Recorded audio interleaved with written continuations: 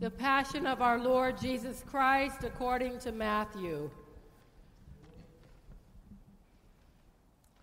Now Jesus stood before the governor, Pilate, and Pilate asked Jesus, Are you the king of the Jews? You say so. But when Jesus was accused by the chief priests and elders, he did not answer. Do you not hear how many accusations they make against you? But Jesus gave Pilate no answer, not even to a single charge, so that the governor was greatly amazed. Now, at the festival, the governor was accustomed to release a prisoner for the crowd, anyone whom they wanted. At that time, they had a notorious prisoner called Jesus Barabbas. Whom do you want to release for you? Jesus Barabbas or Jesus who is called the Messiah? For he realized that it was out of jealousy that they handed him over. While he was sitting on the judgment seat, his wife sent word to him Have nothing to do with that innocent man, for today I have suffered a great deal because of a dream about him. Now the chief priests and the elders persuaded the crowds to ask for Barabbas and to have Jesus killed. Which of the two do you want me to release for you? Barabbas. Then what should I do with Jesus who is called the Messiah? Let him be crucified. Why, what evil has he done? Let him be crucified. So when Pilate saw that the crowd that he could do nothing, but rather that a riot was beginning, he took some water and washed his hands before the crowd. I am innocent of this man's blood. See to it yourselves. His blood be on us and on our children. So he released Barabbas for them, and after flogging Jesus, he handed him over to be crucified. Then the soldiers of the governor took Jesus into the governor's headquarters, and they gathered a whole cohort around him. They stripped him and put a scarlet robe on him, and after twisting some thorns into a crown, they put it on his head. They put a reed in his right hand and knelt before him and mocked him, saying, Hail, King of the Jews. They spat on him and took the reed and struck him on the head. After mocking him, they stripped him of the robe and put his own clothes on him. Then they led him away to crucify him. As they went out, they came upon a man from Cyrene named Simon. They compelled this man to carry his cross.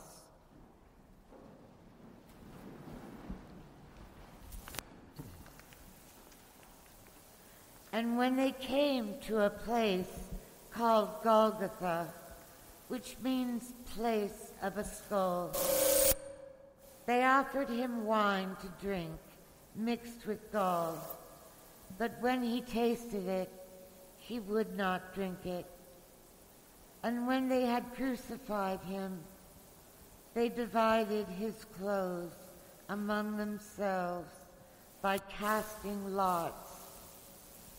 Then they sat down there and kept watch over him. Over his head they put the charge against him, which read, This is Jesus, the King of the Jews.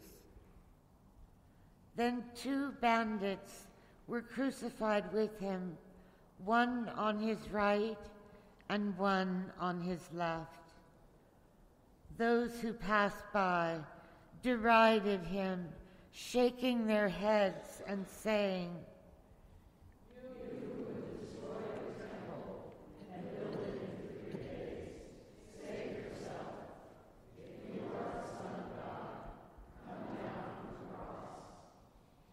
In the same way, the chief priests also, along with the scribes and elders, were mocking him, saying,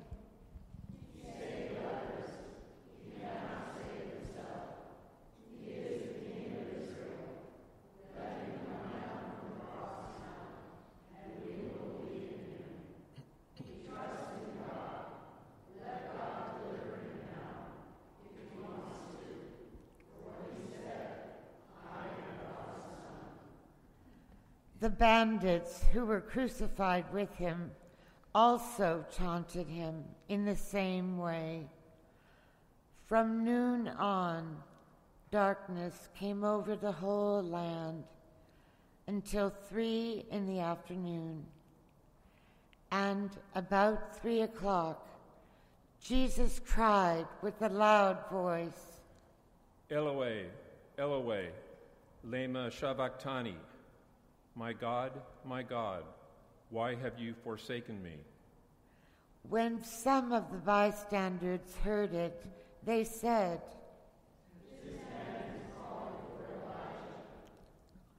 At once, one of them ran and got a sponge, filled it with sour wine, put it on a stick, and gave it to him to drink.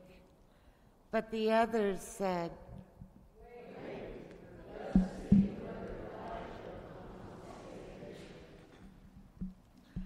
Then Jesus cried again with a loud voice and breathed his last. At that moment, the curtain of the temple was torn in two from top to bottom. The earth shook and the rocks were split. The tombs also were opened and many bodies of the saints who had fallen asleep were raised.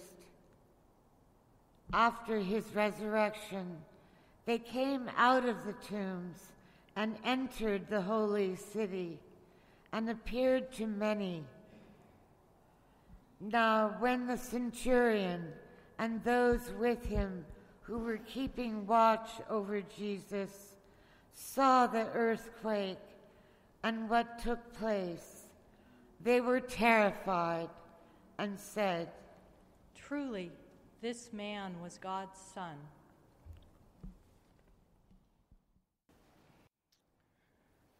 So it seems as though there was not just one, but two processions the day Jesus rode into Jerusalem on a donkey or a colt. We hear that it was both, depending on what version of the gospel you read. He rode in to cheering crowds, palm branches waving, and the sound of hosannas ringing in the air. It was Passover, a celebration. The city's population swelled from its usual 40,000 to over 200,000 also entering Jerusalem from the other side of town, was Roman governor Pontius Pilate. For the people, the time had come for a Messiah to free them. For Pilate, the time had come for a show of force to keep the Jewish population from any ideas about getting out from under the thumb of Rome. Every year on this, the first day of Holy Week, we read about the fickleness of the crowds waving their palms and laying down their cloaks and shouting, Hosanna in the highest! Blessed is the one! We hear how quickly they go from cheering, Hail him, to jeering, Nail him. Not the king they longed for, not the God they expected, not what hope was supposed to look like. And it isn't just the crowds. It is his, his, disciples and friends, witnesses of his mighty deeds of power, the ones who ate with him and traveled with him and healed with him and prayed and praised God with him, who run away and leave him.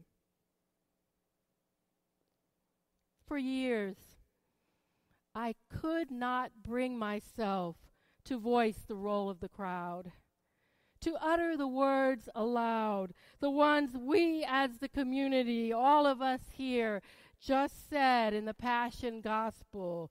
Let him be crucified. Let him be crucified. For years, I wanted to believe that were I to time travel back to those moments, I would have somehow been different than all the others, would have known better, been stronger, more courageous, enough to muster up the will to say no. For years, I couldn't or wouldn't face my own sin. Couldn't believe that Jesus could have died for me, did die for me, saved me. if you couldn't love yourself before, believing this changes everything. It changes you. This is why I encourage everyone to, as much as possible, participate in all of Holy Week. Because the truth is, someone did say no Peter said, Lord, this must never happen to you. And Jesus replied, Do you remember what Jesus said to him? Does anybody remember? Jesus said to him, Get thee behind me, Satan. Do not tempt me away from the will of God. Because it all had to unfold the way it did. And we are all part of this unfolding with Jesus on Maundy Thursday, sharing a table with the people he loved the most, washing feet, showing that the mark of a true leader is whether they can serve others. Jesus still loving those he knew. He knew that at best would abandon him, and at worst betray him. Jesus in the garden alone, heartbroken, struggling, take this cup from me. Not my will, your will. And on Good Friday, the world turned against him. The ones who cheered, Hail him, now jeering, Nail him he suffers. He calls out to a God who does not seem to answer. He doubts. He feels pain and loss and grief. And in the end, he loses the life he knew. There had to be crowds shouting praises, and friends who betrayed, and followers who denied, and women who wept, and soldiers who mocked, and thieves who believed. Sometimes I am asked by those who are going through difficult times if God is angry when they have doubts, or when they wonder why God doesn't seem to be answering their prayers. They ask if God understands when we suffer, when we feel alone. Strange as this may seem, this is good news. Through it all, we come to God who has come to us in Jesus, who walks with us the road of our world's suffering. Because the crowds, the would be disciples, the fickle followers, Pilate, the soldiers, the people in this story, they are us. We are the ones God came to save. God did not become human and dwell among us as Jesus to save us when we became perfect folks. God didn't say to us, Get back to me when you've got your act together. God didn't say, Get back to me when you believe every single word of the Nicene Creed that you recite every Sunday.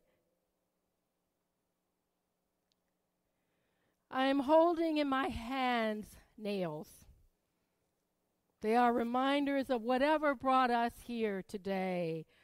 Bless these nails, O Lord, to be for us reminders of those things Jesus frees us from. The things that trouble and torment us, the things that make us unfree. Give us strength to leave them at the cross on Good Friday, that we may truly know Easter. Amen. In just a moment, I will invite you to come forward and to take a nail, to let it represent that thing you need or want to leave at the cross, that thing you need to give over to Jesus, that thing you've been affected by or working on your whole life but haven't been able to resolve on your own, even with your best efforts or intentions. We all know those things. Guilt, shame, fear, doubt, betrayal, disappointments, envy, the need to be perfect, the need to judge, pride, isolation, hatred, despair, resentment, a missing piece that promises to make us whole, a broken relationship in need of reconciliation, perhaps with someone in your family or your intimate circle of friends, or at your job, or even here amongst our own church family. I invite you to come forward. Take two or three nails if need be and come back on Good Friday and pound them into the cross that will be laying here on our broad step. Hold on to the nails during the week. Feel their weight. Keep it in your pocket. Let it poke you a time or two. It's a lot more rigid than you might think. Hold on to the nails. Live with them the entire week and then come. I invite you to come back on Good Friday and leave it or them at the cross, the cross of Jesus Christ, who died for us. Leave it all here and then wait for Easter morning. Amen.